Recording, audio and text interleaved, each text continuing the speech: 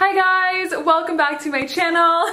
I am going to be thrifting today and I thought that I would take you with me. I'm with my friend Mariah.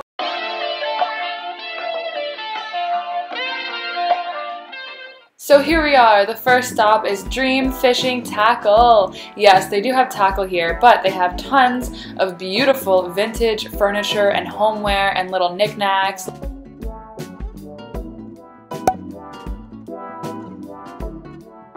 They have this Brooklyn sign, which I think is $1,000, this random pencil that's $400, so it's kind of like a playhouse, but I really like to get knickknacks here and cups and, you know, little vases, things like that. The price range is really wide. It's always fun to peep in here whether or not you have an intention of buying anything. Plus they have a dope little record section in the back. Just like to sift through and find records with really cool art and listen to someone new.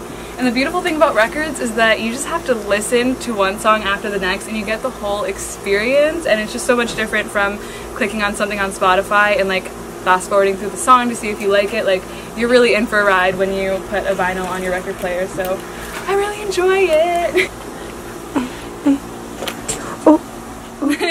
Next, we have the Dobbin Street Co-op.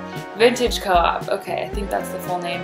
This place, okay, this is the number one place, okay, number two place for home decor inspo. I mean, this place is just decked out with beautiful pieces that all look amazing together, and they have clothes as well. it's so good. Look at this aesthetic, like, you can just buy all these pieces, and then you're done.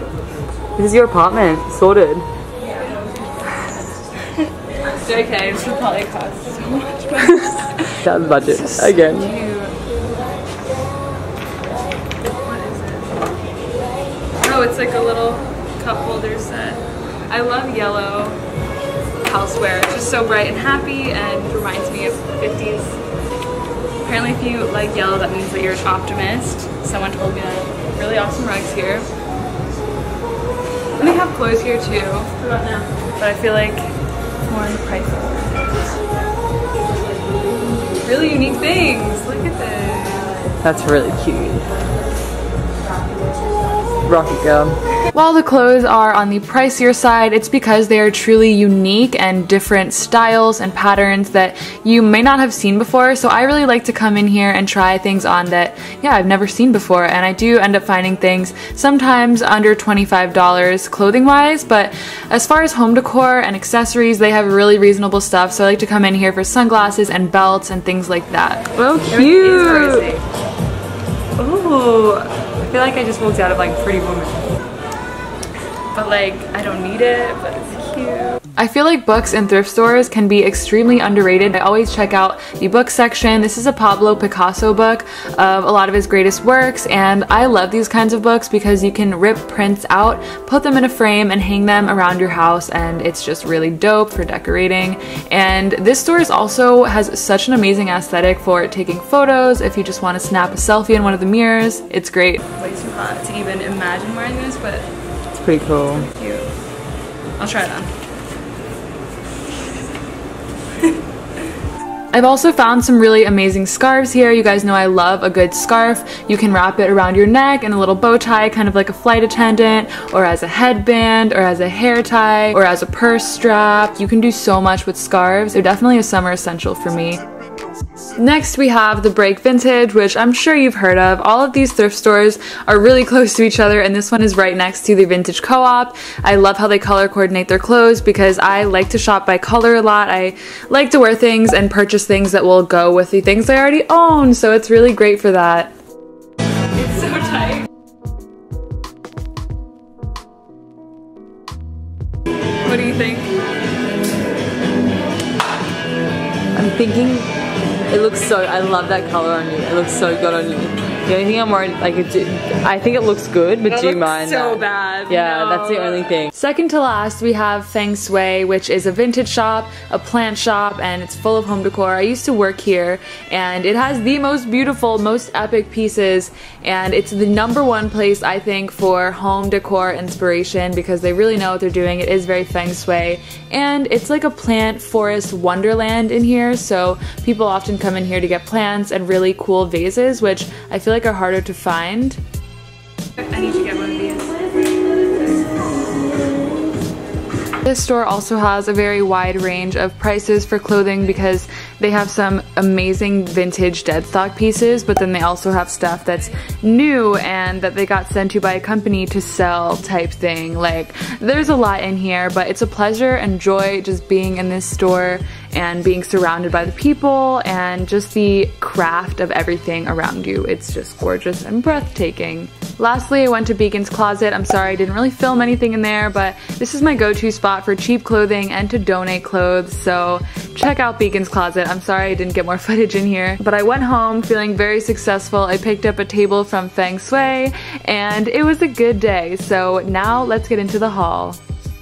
Hey guys, I'm home now. I had a pretty successful little adventure at the thrift shops today. I didn't go crazy. I used to go so overboard and just get things because they fit me and looked good on me, but now I get things because they fit me and also if I know that I'll wear them a lot and if they're versatile because I just don't want to have extra clutter and you guys know I'm moving into more of a minimalistic, more intentional place with every piece in my wardrobe. I was lucky enough to find things that were cute and that fit me very nicely, but I opted out of them because I didn't think I would wear them very much and I'm really happy about that. I don't know if you guys have heard of Girl Boss. It's by the CEO of Nasty Gal and there's this quote in it that says, your money looks way better in the bank than on your feet. And I just think that's so true. Like I'd rather just save a few bucks in my savings account rather than get like a new pair of shoes or something that I don't need. You know what I mean? So also another benefit of not shopping like crazy and chasing trends, but I'm gonna start off with two things that I got when I went upstate. So these thrift stores were really random and I don't know the names of them, but I got this super cute bag. I love this color. I don't even know what shade of orange this is. I mean, it is a pretty vibrant orange, but it also gives me like some papaya vibes.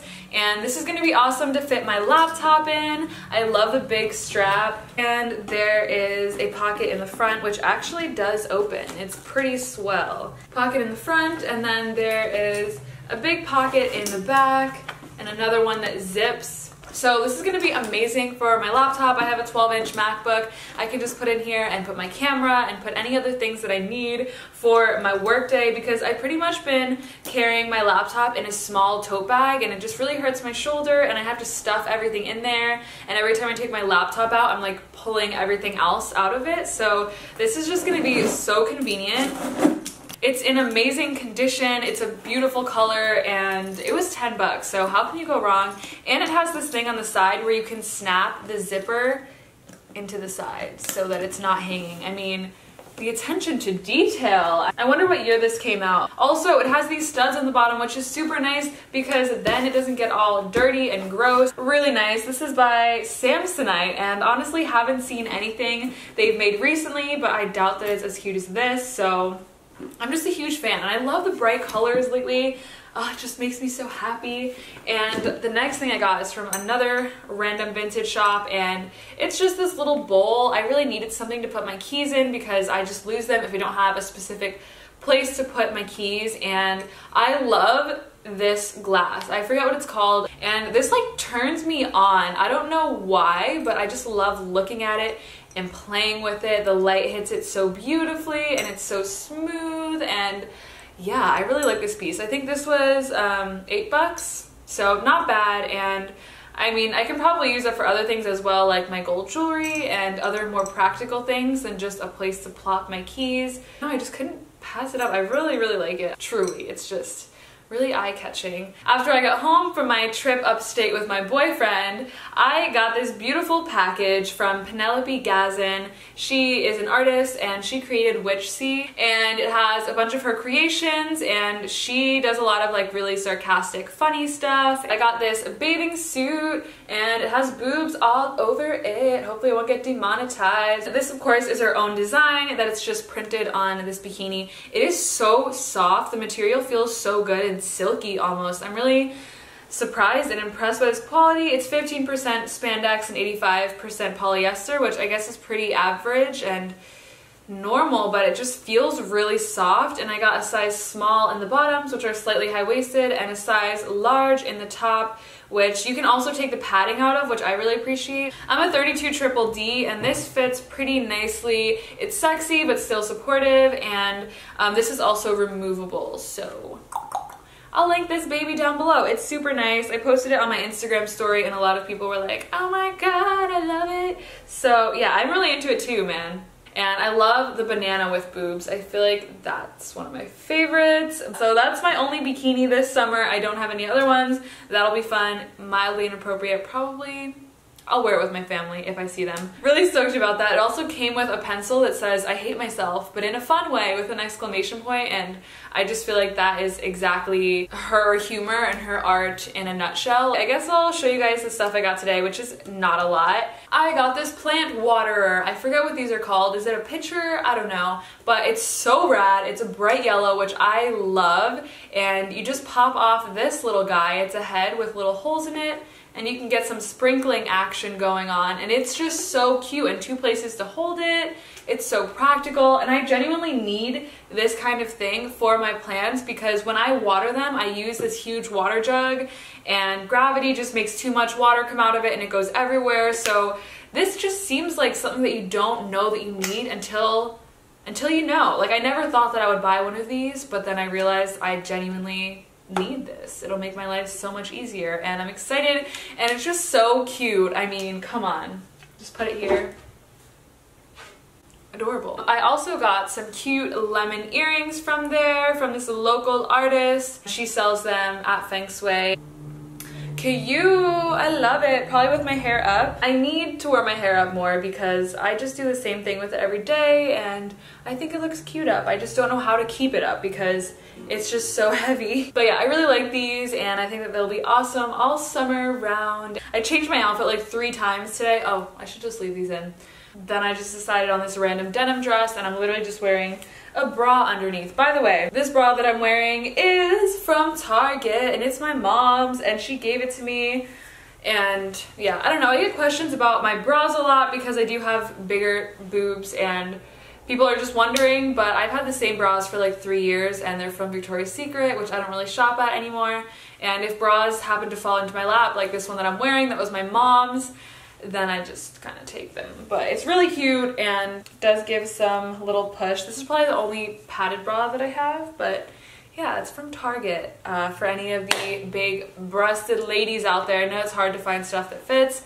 Um, but anyways, I got this dress today from Beacon's Closet. It just has polka dots. I loved it for its fit and for the style of it. However, I have never worn polka dots and I don't own anything with polka dots so I'm still you know adjusting to this but I really do love it and I think the polka dots are just super quirky it'll just go really well with gold jewelry which is all I've been rocking lately and little little earrings and I was gonna say something else oh yeah I have yellow toenails I got these really awesome nail polishes from Selenia Beauty, which I will link down below. They're vegan and cruelty free, and I just really like this yellow. I also got a table from Feng Shui, and I'll just insert a clip of it here next to my bed. I love it.